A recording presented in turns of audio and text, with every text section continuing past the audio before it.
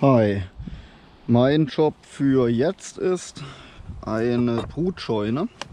Was ist das da hier? Die Bienen hier rauszuklauen. Weil das so so ein Volk ohne Königin ist, äh, werde ich da sicherlich hoffentlich heute auch keinen Rauch für brauchen. Mir ist jetzt eigentlich nur wichtig, dass ich hier Bienen in meine Kundschaumkiste bekomme. Mit den Bienen kann ich nämlich jetzt andere Völker verstärken. Und da wir nachher eine Puderzuckermethode auch anwenden wollen bei der ganzen Geschichte, darf man jetzt auf gar keinen Fall hier Nektarspritzer reinbringen oder aber auch äh, Wasser. Das heißt, man braucht einen trockenen Tag für die ganze Aktion.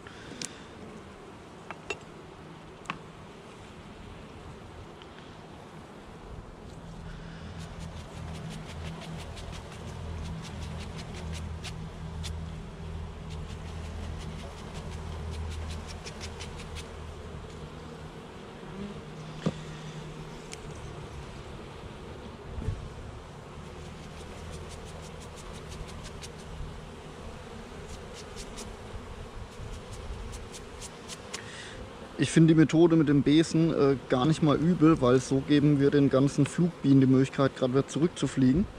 Ihr seht ja, da bleiben eigentlich nur die jungen Bienen drin, die wohl noch nicht fliegen können. Alles über drei Wochen fliegt einfach schon, bevor sie sozusagen Tieffall bis zur Box haben, fliegen die einfach schon auf. Und da die Kiste hier so so tatsächlich sehr, sehr leer ist schon, ist es auch gar nicht mal so unklug zu sagen, ja, die Flugbienen sollen gerade wieder zurückkommen um dem Volk noch hier die Brut zu wärmen. Es geht auch gar nicht darum, bei so einer Aktion alle wegzukriegen, spielt gar keine Rolle. Au. Na, so haut man sich dann doch mal einen Bienenstachel rein. Ein kurzer Schreckmoment, der ist auch bei mir noch.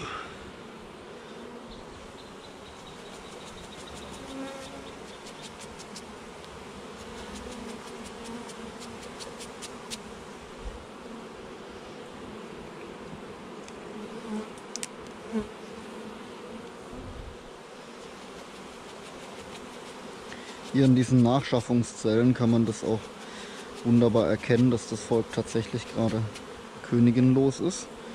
Die versuchen sich nämlich hier aus der Bienenbrut eine neue Königin zu kreieren. Das möchte ich aber nicht. Wie gesagt, ich brauche hier weißellose Bienen, um andere Völker, die nicht so stark in der Sekunde sind, zu verstärken.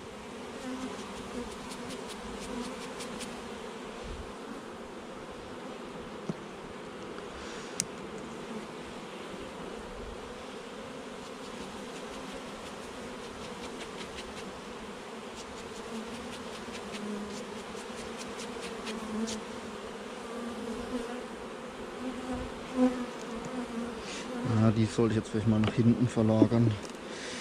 Da ist nämlich keine Brut drauf.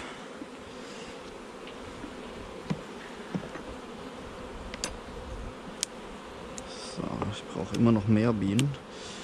Das langt noch nicht, was wir haben.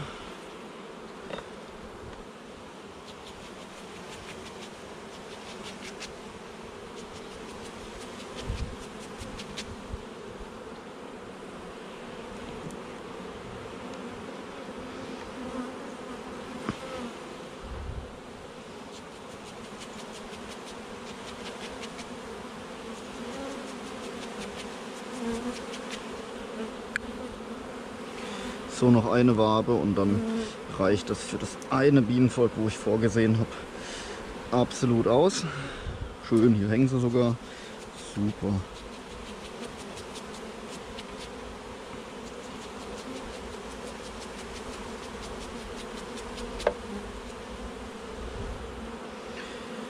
Gut. Zusammenschieben, auch bei weißellosen Völkern, wichtig. Hoppala, das darf nicht passieren. Kann wieder rein. Wieder zurückschieben ein Stückle. So. Und das Wichtigste ist zu wissen, Bienen haben ein Exoskelett. Da sind innen drin keine Knochen. Das ist lediglich die Chitinhülle, wo die Bienen zusammenhält. Und deswegen kann man mit den Bienen das hier machen. Zack. Das ist deswegen klug, weil sonst erwischt man ja Bienen hier an der äh, Kante und wir wollen ja unsere Tiere jetzt nicht abtöten. Deswegen lieber runterschlagen, das ist für die Bienen wunderbar aushaltbar. Und jetzt geht es dann gleich zur Puderzuckermethode.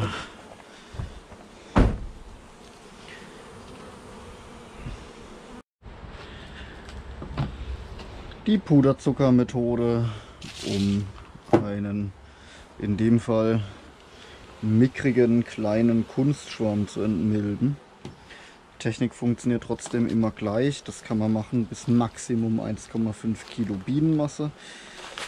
Sonst wird es denen zu staubig da drin. Wichtig ist bei der ganzen Geschichte, die Biene darf nicht nass sein. Weder vom Wasser noch von der Luftfeuchtigkeit, noch dürfen Nektarspritzer auf der Bienenmasse kleben. Die müssen wirklich komplett trocken sein, die Bienen. Und dann habt ihr hier ziemlich viel Erfolg mit dieser doch sehr simplen Methode, um die Milben da rauszukriegen. Wenn ich das hier verrieben habe, erkläre ich auch gleich, warum das so effizient ist.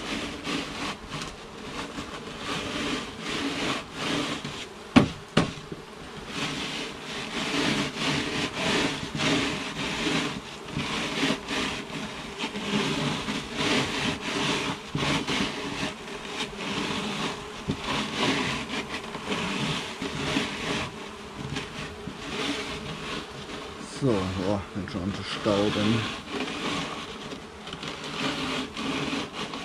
So, den Rest kann ich mir eigentlich sparen bei dem kleinen Völkchen. Ist ja gar nicht so viel.